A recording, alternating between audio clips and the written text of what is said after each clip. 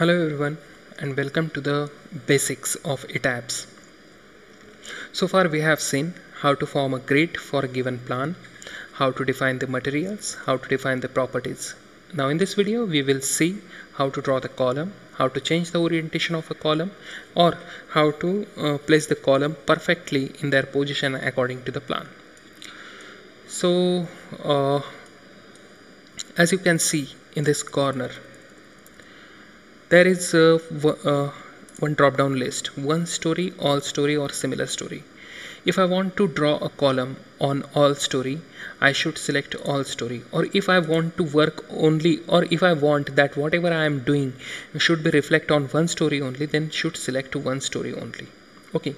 And similar story I will show you the use of this similar story option in next video. So here since my plan is uh, what uh, since my plan is same for all story so here I am selecting all story. Okay.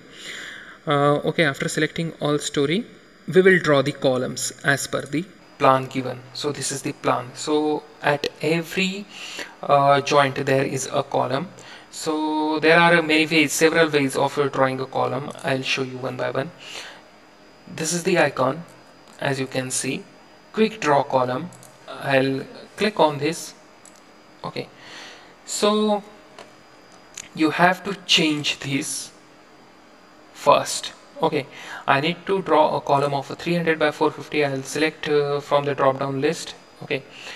One way just go over here and uh, click. You can see that column will be there. Again go over here and click that column will be there. Or you can simply drag like this. Okay so column will be added. Okay. Like this. Like this. Over here. Okay. So we'll again go to the plan. As you can see we don't need the column over here. Okay. So we will delete this and if you can see since I have selected all stories over here so although I am drawing a column on one plan only but it is uh, applied to all story right? If uh, we have selected one story here then uh, it will be reflected uh, for one story only. Okay. So let it be all story for being now. Press escape. I don't want this. Okay I want to delete this column. So to select the column you have to just drag like this okay? You cannot select the column by going on column and then clicking. You are going to select nodes only. The column will not be selected as you can see here okay? So just avoid uh, this. To select whole column just drag around the column like this. You can see now the whole column is selected. I don't want this column. Go and delete okay so okay.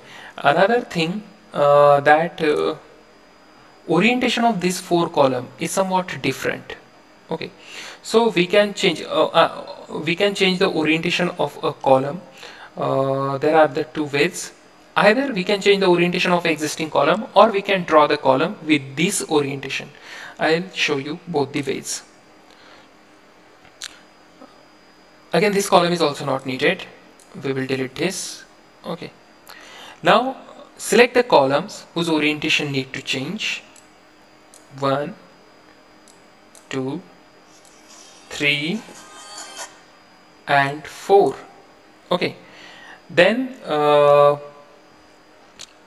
go to assign. Go to uh, sorry go to assign frames.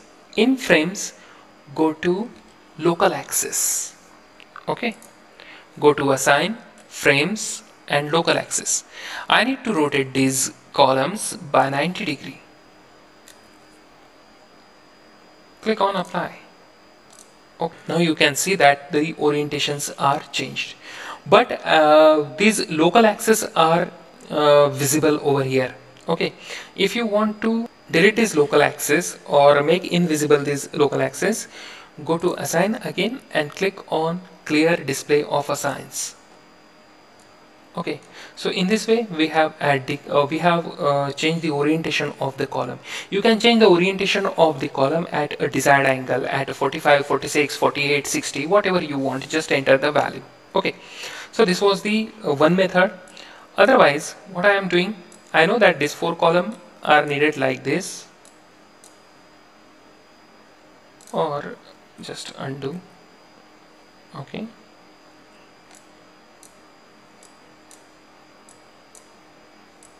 We will draw this column again. Select column. Okay. While selecting it is asking that angle. Angle uh, at what angle do you need? If I click here like this. Already just we have done uh, or we have changed the orientation. That's why here 90 is showing. Otherwise it will be a zero. By default it will be a zero. Uh, but I want to change its orientation by 90 degree. Just enter here 90 and go to the desired points and just click. Now the column will be column will placed in a desired position so this is another method. Okay. So in this way uh, we have added the column to the structure successfully. In next video we will be adding a beam. Okay